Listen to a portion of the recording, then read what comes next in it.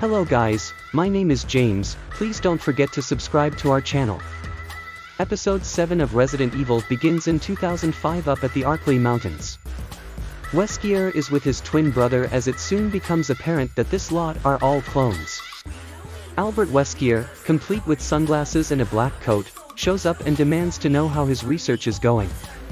Only, Umbrella guards show up, prompting Wesker to make swift work of them before Bert and Albert are left to Evelyn, who appears and takes them both in.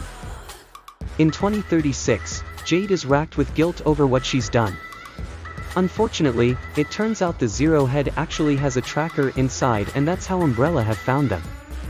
Jade apologizes to Arjun for what she's done, especially as Amrita has been killed because of her stupidity. Umbrella have taken control of the vessel and they want to organize a meeting. Arjun is confident they could strike a deal, but as Jade learns that Evelyn is the one asking for the meeting, she's not so sure. Jade wants to press the button, but Arjun is quick to point out that Bea needs her mother. Not a martyr. Anyway, Sakim goes ahead with meeting Evelyn instead, pointing out he has a hard drive with incriminating details on. She shrugs it off though, calling his bluff.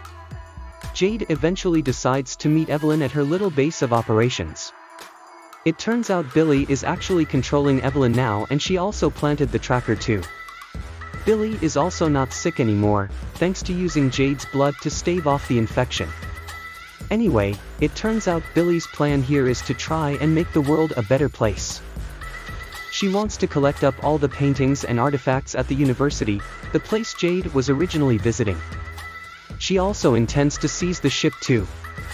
However, Jade smashes a vial on the floor which happens to include a scent that draws in the zombies. The gang have actually set them up completely, and with fighting down on the docks, the ship is released from shore but it turns out they've actually captured a giant crocodile underneath the boat too, because sure, why not that might as well happen. In 2022, Albert is tied up and questioned over why he killed Angel. However, his clone twin is unstable and manages to kill several of his guards and breaks free.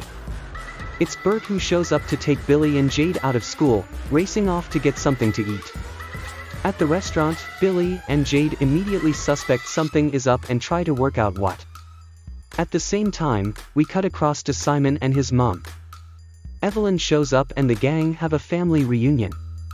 Evelyn slips a couple of joy pills to her wife while urging Simon to message Jade. Back at the restaurant, Bert breaks the truth to the girls, pointing out that he's a clone and essentially like their uncle. He's completely unstable though. The girls do eventually run out the back, but of course Umbrella catch up with them. Bert can more than handle himself, killing several guards before they're all eventually captured. Evelyn brings them into the lab, where their father is on the floor, having a seizure. It turns out that these clones' cells rapidly accelerate and in order to stave that off. They need regular injections to slow the process, explaining Wesker's dependence on these syringes.